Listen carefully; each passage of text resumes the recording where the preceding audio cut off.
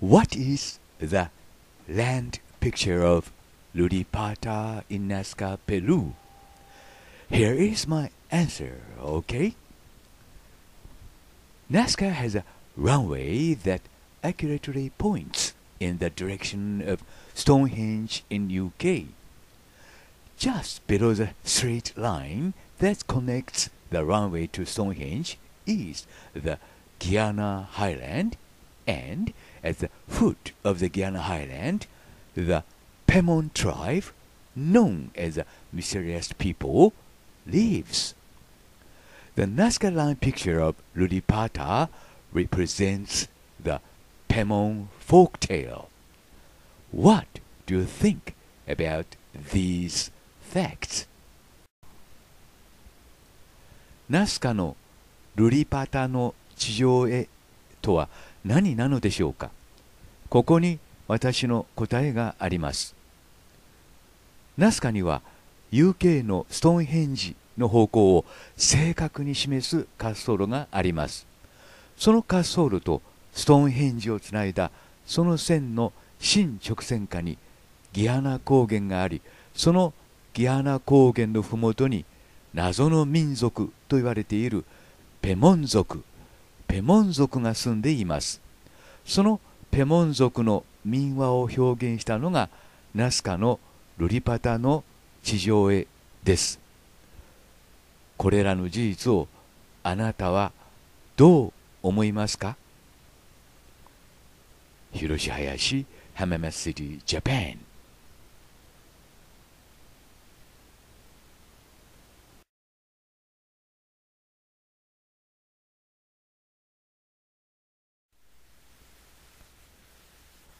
Here in this video, I show you its proof and evidence of my Hiroshi Hayashi's Nazca theory with which you may know what Nazca lines are. You see a straight runway in Nazca from Stonehenge, UK, together with so-called Luripata geoglyphs just beside the runway. No one knows what the Luripata geoglyphus is, but just on the line from you see Guyana Highlands, where Pemon tribe, a strange people, even around there, and they have left also a very strange legend. When you know the strange legend and its story, you may know that the Luripata geoglyphs is precisely related with the legend. Here is the story of it. ナスカにはストーンヘンジの方向を正確に示す滑走路があり、その滑走路の横には通称ルリパタの地上絵と呼ばれている地上絵があります。そしてそのナスカの滑走路とストーンヘンジをつなぐ新直線下にあのギアナ高原があり、その周辺にペモン族という謎の民族が住んでいます。その民族がこれまた謎の伝説を残していますが、その伝説の内容とルリパタの地上絵の内容が一致しています。そのことをこの動画の中で説明し、証明しますが、同時にこの事実は私、林博のナスカ理論の正しさを証明する証拠ということになります。広島林浜松リジャパンでは最初からもう一度説明します。ナスカのルリパタの地上絵です。で皆さんを UK のストーンヘンジへ案内します。ストーンヘンジは世界の基準点になっていることには間違いありません。そのストーンヘンジの中心点からナスカに向かってラインを引きます。そのラインは一本の滑走路と正確に重なります。右が UK のストーンヘンジ。左がペルーのナスカということになります。これがその滑走路です。緯度経度はここに示しておきますから皆さん自身でご確認ください。かなり荒らされている様子でその上下に車の形も見えます。もう一度 UK のストーンヘンジからのラインを確認してください。滑走路がここにあります。そしてこの滑走路のちょうど出口の向かって左側にルリパタの地上絵が描かれています。赤枠で囲ってみました。ルリパタの地上絵です。謎の地上絵ということになっています。これは何かということですね。つまりこの絵の謎が解ければナスカラインの謎も解けるというわけです。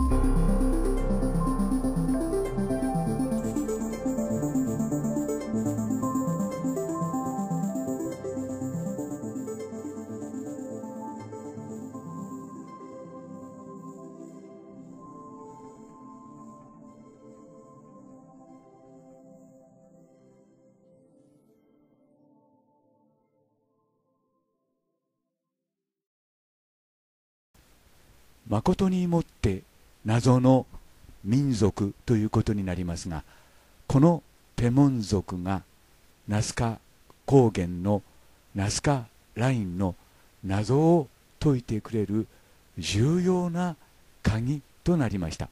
で先に結論を皆さんに話しておきます。ナスカ高原北方13キロのところにあるこのルリパタの地上絵に描かれているのはですね、えー、今お見せしましたのがウェイ太陽という意味の名前ウェイです。そして左がですねツエンカロン神です。髪の毛が長い小さな神です。そして一番右がですねアロマダプエンつまり妻ということになります。そしてその間に4人の子供がいます。上から3人は女の子です。一番下のチケといういう子供は女の子か男の子かは分かりませんけどもともかくもここに書かれているのは4人の子供ということになりますそのことをご承知おきの上ですね続く動画をどうかご覧になってください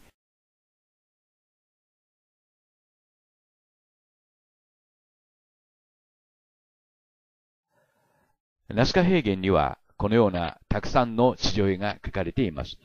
これらの地上絵が何かということについてですけども、まあ一般的なアカデミックな説,、まあ、説明によればですね、えー、水越儀式説、あるいは宗教的儀式説、さらには考え説、巨大な天文カレンダー説などがありますが、これらは標識です。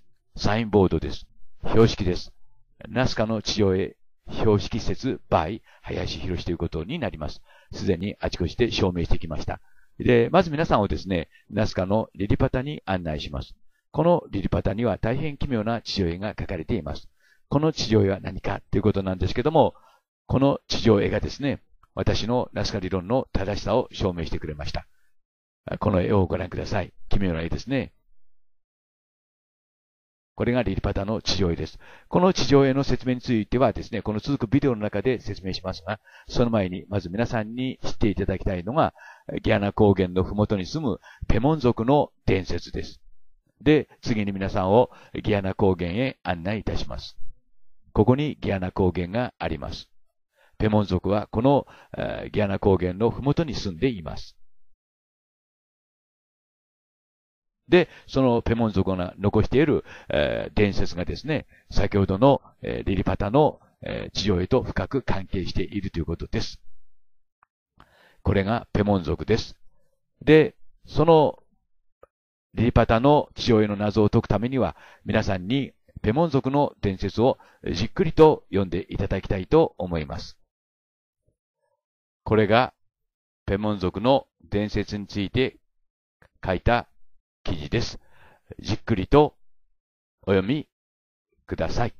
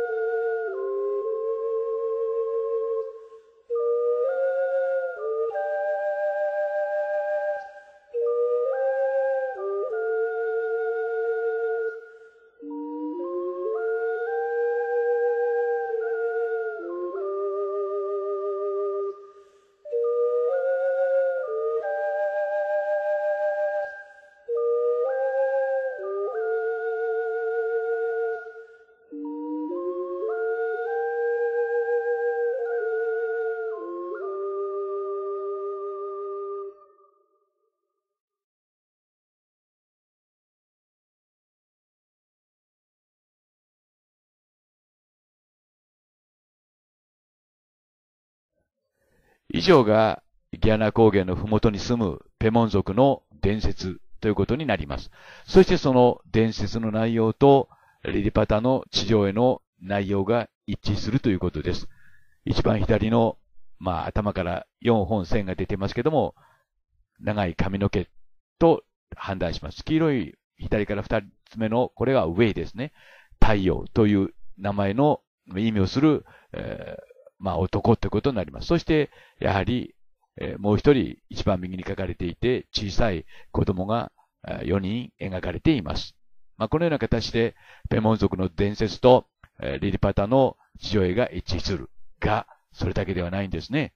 さらに、第二論によって、これら両者が深く結びついているということを、続くビデオの中で説明いたします。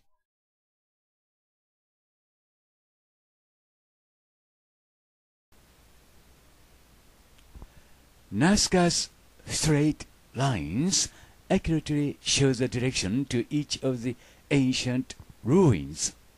In other words, Nazca's straight lines are direction indication lines.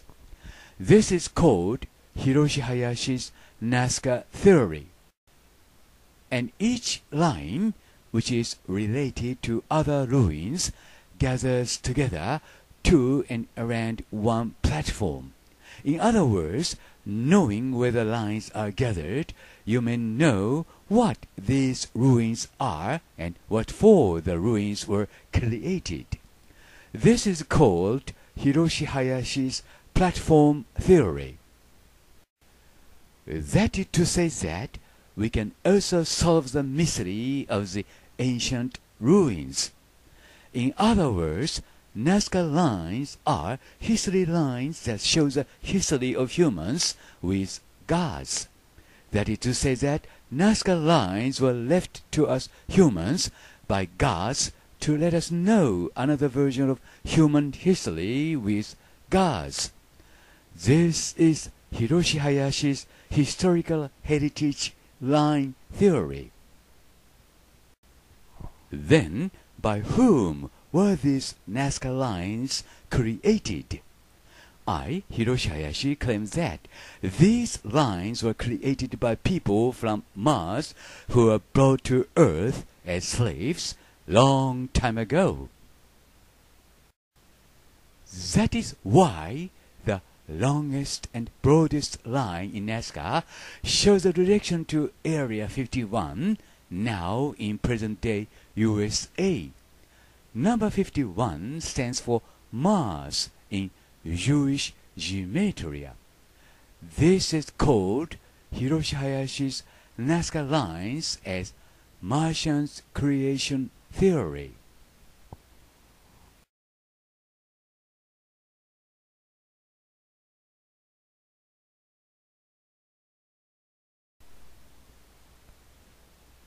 Here in this video, I show you its proof and evidence of my Hiroshi Hayashi's Nazca theory with which you may know what Nazca lines are. You see a straight runway in Nazca from Stonehenge, UK, together with so-called Luripata geoglyphs just beside the runway. No one knows what the Luripata geoglyphus is, but just on the line from you see Guyana Highlands, where Pemon tribe, a strange people, even around there, and they have left also a very strange legend. When you know the strange legend and its story, you may know that the ルリパタ・ジオグリフィス is precisely related with the legend.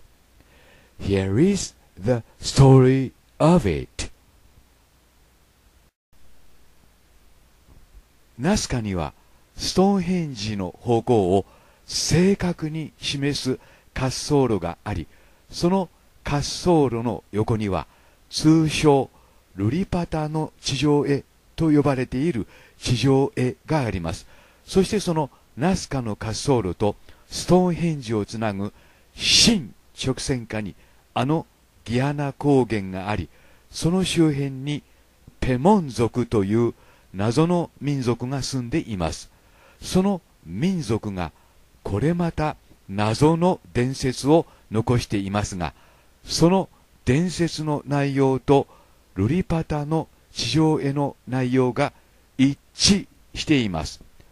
そのことをこの動画の中で説明し、証明しますが、同時にこの事実は私、林博のナスカ理論の正しさを証明する証拠ということになります。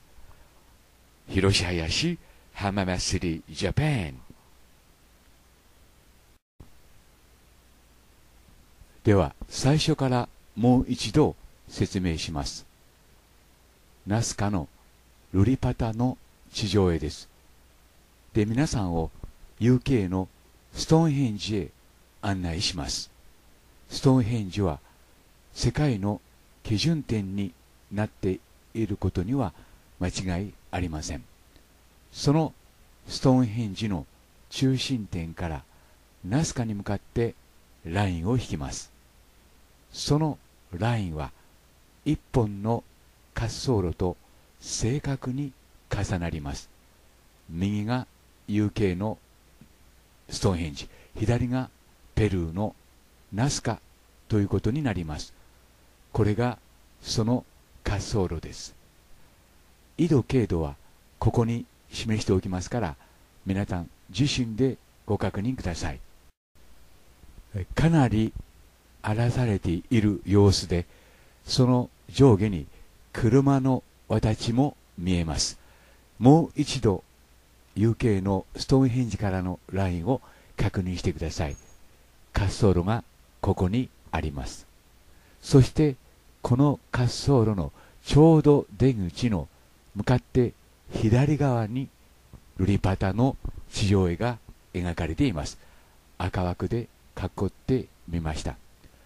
ルリパタの地上絵です。謎の地上絵ということになっています。これは何かということですね。つまりこの絵の謎が解ければナスカラインの謎も解けるというわけです。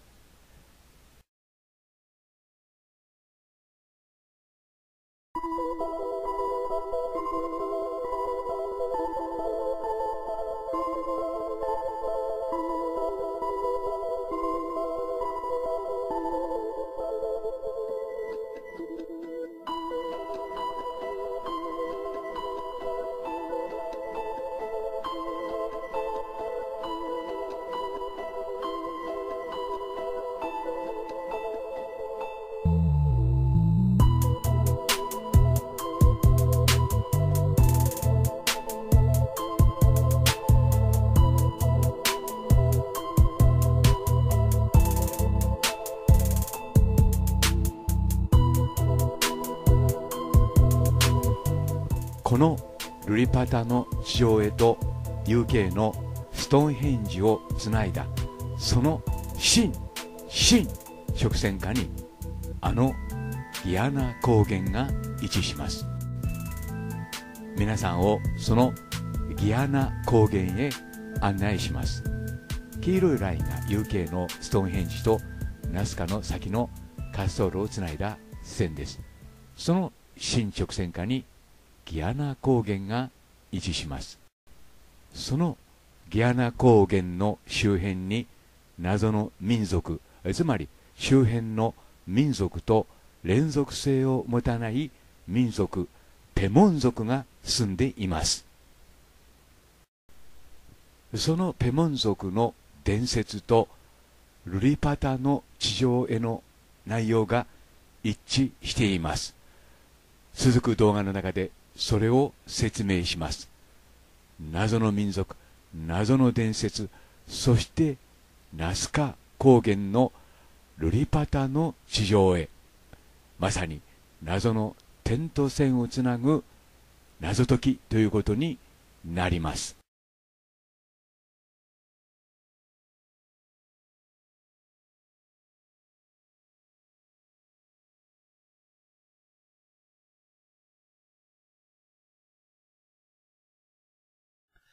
Hiroshi Hayashi will present you a video forum on ancient mysteries and wonders of the world. Today's story is about petroglyphs of the Parcas culture in Peru. Petroglyphs of the Parcas culture, probably made between 500 and 400 BCE, important Andean society between approximately 800 BCE and 100 BCE with an extensive knowledge of irrigation and water management.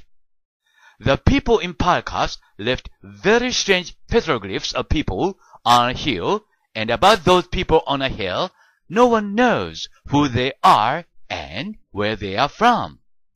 No one except me, Hiroshi Hayashi, Hamama City, Japan. ナスカ平原のグランドクロスの北西13.5キロの丘の上に奇妙な線画があります。紀元前500年から400年頃に書かれた線画と言われています。人物像ですが、それが誰であるのか、どこから来たのか、この私、林博士を除いて誰も知りません。今日はその謎の線画について私の答えをここに示しておきます。私のライン理論及びナスカ理論を応用すれば、その謎は簡単に解くことができます。まず皆さんをナスカへ案内します。この中央やや左寄り下にあるのがナスカ平原です。ここにグランドクロスと呼ばれている大十字架があります。長さが10キロ前後ですね。幅が20メートルから40メートルの線です。この中心点から、この地図ではやや右寄りのところに13.5キロのところに、その線画があります。丘の上にやはり書かれています。その線画をまず見ていただきますけども、これが何であるのか、まあ、誰であるのか、どこから来たのか、今のところ誰も知りません。えこの線画なんですね。で、この謎解きに今日挑戦してみます。これが今の線画のあるあたりの様子です。かなりまあ、デコボコしているところに注意してくださいね。そして今見えてきます。この丘なんですね。この丘の、この丸いところに、あたりにその線画があります。まあ、こんなところにですね、線画があり、その前に滑走路があるということですね。まあ、林博士のナスカ理論によれば、まあ、あの、こうした、まあ、ランドマークはですね、その滑走路の行く方向を示しているということになります。で、ここにその線画があります。で、奇妙な線画なんですね。そしてこれが下のがですね、あの、現地の写真です。で、ライオンのような絵が描かれているわけですね。そして頭から、頭からですね、長い髪の毛が伸びています。のようなものが伸びていると今のところは言った方が正しいんでしょうか？で、彼らは誰なのか、どこから来たのか、ということなんですね。で、これについての林博士の結論を出しておきたいと思います。まあ、これがその線画ですけども、現地では別の名前で呼ばれてるみたいですけども、まあ、パラカス人、文化のね、の、えー、の、まあ、このあたりパラカスって言うんですけどもね、えー、いわゆる超等人間、コンヘッドが、まあ、の骨が発掘されているところです。で、こうしてもう一度この絵を見ていただきたいんですけども、これは誰なのか、何の絵なのかということもありますね。で、まあ、林印のライン理論を使えば、この謎も簡単に解けるということです。で、真ん中に左から二人目にまあ大きい人、そしてあと三人描かれてますね。髪の毛の長い人が。ここに注意してください。では、ナスカ、えー、理論、およびライン論で証明します。ナスカ理論によれば近くに滑走路がある。その近くの目的地が、まあ、こうしたランドマークとして表現される。ということになりまして、その近くに一本の滑走路があります。古い滑走であり、滑走路であり、まあ少し見にくいんですけどもね、先ほど見ていただきましたように、この辺りは結構デコボコしていてね、この辺りにまあラインがあるなんてことは、まあ車の乗ってる人からは見えませんね。しかし、高い空から見るとそれが見えるわけです。で、これがですね、この上のライン、えー、が、まああの、まあ滑走路っていうのは2本の線でできるわけですけども、下のラインがですね、えー、ストーンヘンジへと向かいます。で、四角36.93。あれ、これはかなり正確に出るんですよ。あの、そしてそれ伸ばしてますと、ストーンヘンジ行く。これ逆にですね、今度は、ストーンヘンジからこの滑走路に線を引いています。まあ、こういった手法を使うわけですね。大方目安をつけておいて、今度は逆に先方から、あの、こうした滑走路に線を引きますと、より正確にこのラインの方向がわかるというわけです。で、この黄色い線を見てください。下の線です。この下の線は、まあ、右の方からですね、UK のストーンヘンジから引いてきた線です。ぴったり重なりますね。ということは、このラインは、UK のストーンヘンジの方を示しているってことになるんですけども、あの、まあ、ストーンヘンジの線は別にありますしね。エイブベイリーの線もありますので、どうしてこんなところにストーンヘンジがあるかということなんですよね。おかしいと思われるでしょ？ストーンヘンジの線にしては、まあ、あの、規模が小さいんですよね。で、検証しています。そこでもう一度このラインを見ていただきたいんです。右、左がですね、ナスカです。そして右があのストーンヘンジですよね。そして今先ほどの線画とストーンヘンジを繋いだ線がこの地方の黄色い、黄色い線です。この線を注意深く見てください。あの、皆さんも座標を示しておきますから、点、線で繋いでみてください。そうするとですね、寸部の狂いもなく、この山にやってくるわけです。この山にやってきました。標高2810メートルのロライマ山ですね。通称、ギアナ高原と言われているこの山です。この山に寸分の狂いもなく進捗線下にやってくるわけです。これがギアナ高原です。ロライマ山ですね。まあ、現地でも最も神聖な山として、まあ、位置づけられています。まあ、当然ですね。こうした山なんです。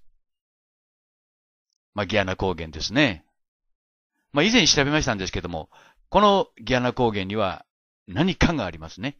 それはあの、今言いましたように、ナスカとストーンヘンジをつないだ新直線下にあるわけですけども、今日、あの、ややずれてたんですけどもね、今日、結びました線画と、えー、まあ、ストーンヘンジをつなぎますとね、そのラインはこのギアナ高原、すなわち、ロライマ山の新、まあ、上を通りますかね、新直線下にあるということです。で、調べてみますと、ここに出てきたのが、ペモン族なんですね。ペモン族。このペモン族の不思議なところはですね、周辺の民族とは顔の、顔の形人格であるとか、あの、肌の皮膚の色が違うんですね。ですからまあそれはあの、いろいろと議論されているようです。で、これがペモンインディアンです。そのペモンインディアンの、あの、まあこれあの、ベネズエラの、まあ、公式の、いわゆるペモン民族についての記録です。で、この記録を読んでみますと、大変興味深いことがわかります。これがペモンインディアンズですね。いわゆるギアナ高原の近く、まあ、後方にギアナ高原が見えますね。で、これがペモンインディアン。この周辺に住んでるインディアンです。このペモンインディアンを調べたら、大変興味深いことが分かりました。それがペモン神話です。ペモン神話についても長い、あの、記述がしてありますので、まあ、簡単に言いますとですね、まあ、あの、ある時にですね、あの、ウェイという、まあ、男というかね、太陽、太陽というのは、まあ、あの、意味だそうですけども、ウェイという男がですね、あの、川のそば行きますと、音がしたと。で、見て、見てみると、まあ、その、ある小さな女性がいたと。で、次の日行ってみたらまたいたんでね、あの、まあ、捕まえ、捕まえようとしたんですね。その女性っていうのは、大変長い髪の毛を持っていて、それがですね、足に、足まで届くような、とても長い髪の毛を持っていたっていうんですよね。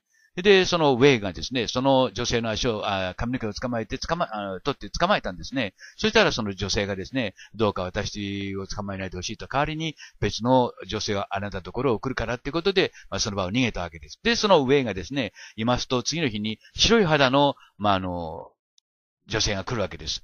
で、それ、まあ、しばらく住む、住むんで、一緒に過ごすんですけども、家は行かないと。そして、まあ、色がね、肌の色が違うということで、次の日に今度はね、あ黒い肌の色の人が来るわけです。で、三年目に赤い肌の人が来て、まあ、三、あの、まあ、めでたしめでたしというような話なんですね。まあ、これはあの、あペモン族の神話です。で、ここに出てくる、あの、神話の登場人物ですね。髪の毛の長い、えー、女性、そして太陽という名前の、えー、男ですね。ウェイですね。ウェイっていうのは太陽という名前だそうです。